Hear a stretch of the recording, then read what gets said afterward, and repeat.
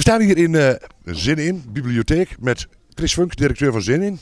En Karin Bart, manager van de bibliotheek hier. Eindelijk is het rond, eindelijk is er subsidie beschikbaar gesteld. Eh, wat gaan jullie eigenlijk allemaal doen, Chris, met de verbouwing? Ik heb nog geen idee, ja. nee. Nou ja, uh, in zover hebben, hebben we, natuurlijk hebben we wel een idee, maar we hebben een vlekkenplan. Uh, dus in grote lijnen hebben we een, een, idee waar we naartoe willen. Maar het moet echt nog ingevuld worden. En dat, dat moeten we met elkaar doen. En dat moeten we met nou ja, onze, onze gasten, onze klanten. Dus met, met iedereen moeten we nog. gaan we in gesprek om te kijken waar wat precies moet gaan komen. Even in deze strand blijven. Hebben jullie al vlekken mogen invullen? Ja, ik ben betrokken geweest bij het vlekkenplan zelf. En uh, uh, ja, wat we gaan doen is kijken met de partners waar we mee samen gaan werken. Bijvoorbeeld Hoi en hebben dingen en de wellen en uh, nou ja, wat er nodig is om de functies goed uit te voeren. En wat dat dan betekent straks voor het ontwerp. Dus dat, uh, dat is waar we voor staan. We gaan met werkgroepjes doen, met medewerkers, met partnerorganisaties en ook met, met de gebruikers van de bibliotheek. Wordt het echt een hele andere invulling, want het gebouw staat ja nou nog maar, of al, dus moet je bekijkt, 15 jaar. Ik vind het er echt goed uitzien, maar jullie gaan dus echt een heel ander hier. Begrijp ik dat goed? Um, het ziet er ook nog goed uit.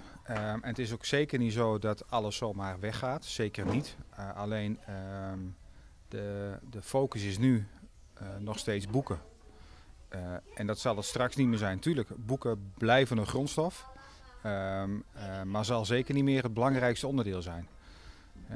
Jij noemde het volgens mij al reuring ruis en rust, dat zal een beetje hè, over de drie verdiepingen zullen we het op die manier gaan verdelen. Maar wij merken dat er gewoon steeds meer um, behoefte is aan plekken om uh, te ontmoeten, om uh, te vergaderen, om workshops te houden. en daar is de huidige bibliotheekinrichting gewoon niet op, op gemaakt. Nee. Ik hoorde drie R's, moet ik eigenlijk heel wat anders denken. Rust, regelmaat en reinheid. Bedoel je dat er ook mee? Of? Nou, nee, nee, eigenlijk niet. Nee, nee het moet een toekomstgerichte bibliotheek, uh, toekomstbestendige bibliotheek uh, worden.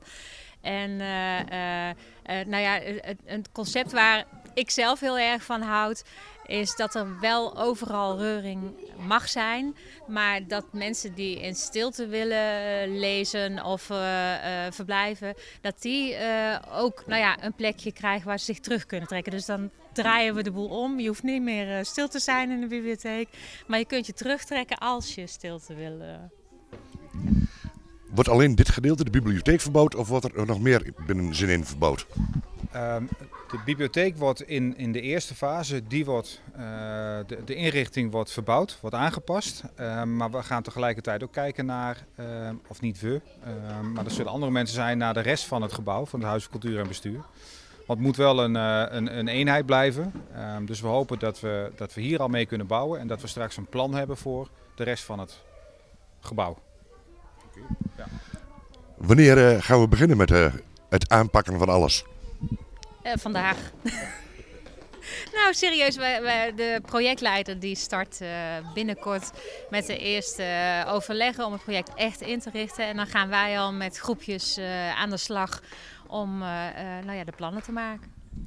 Stiekem zijn we eigenlijk ook al begonnen, hè? want we staan hier midden in het maaklab. Ja. Um, komende vrijdag wordt de laatste hand eraan gelegd, dus dan is die eigenlijk al klaar. Mooi. Uh, ik ben bang voor jullie, maar misschien blijven mij. Ik denk dat ik jullie een beetje ga volgen de komende maanden, denk ik. Dat we veilig kunnen komen kijken en eens kijken hoe ver alles is. Ik wil jullie heel hartelijk bedanken dat jullie tijd voor mij hadden.